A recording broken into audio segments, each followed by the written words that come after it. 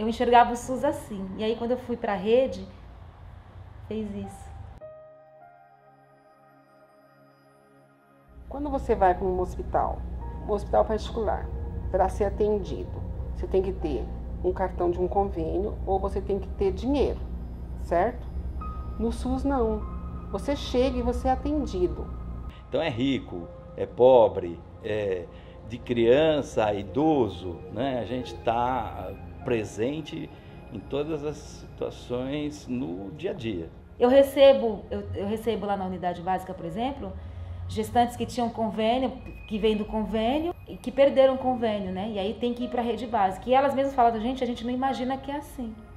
Por quê? Porque não conhece. A gente avançou muito, né, com vários, várias políticas públicas. Eu acho que sem o profissional de enfermagem é impossível trabalhar. Teriam que inventar uma outra profissão para se fazer no lugar dessa, não tem como. Os profissionais eh, da enfermagem, né, que é, são os, os maiores representantes da, dos trabalhadores da área da saúde, a gente fica até um pouco aborrecido com o que vem acontecendo, né? Essa, esse, esse, esse, esse retrocesso que às vezes a gente observa em algumas práticas. Eu acho que é o que, que falta vontade política para poder estar tá fazendo com que o SUS aconteça de verdade.